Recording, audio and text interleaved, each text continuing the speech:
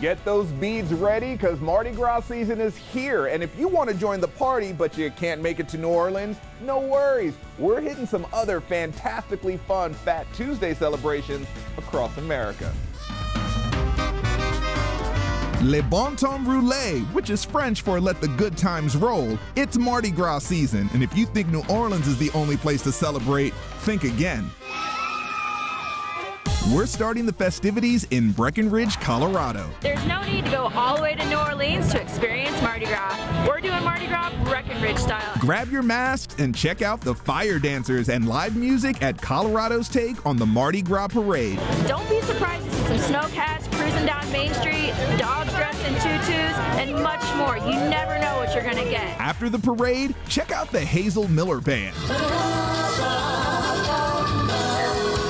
The party goes down March 5th. Our next Fat Tuesday stop is in Galveston, Texas. Welcome to Galveston Island. The Mardi Gras celebration kicks off this week with the tossing of, wait for it, 3 million beads. The lineup includes family events, concerts, and fun parades like the funky Uptown Umbrella Brigade. The fun times continue every weekend through March 5th. Our last Mardi Gras stop is in St. Louis, Missouri. What's my favorite part? Everything. St. Louis puts their spin on it all with a Cajun cook-off, Run for Your Beads 5K, and a Mardi Gras ball.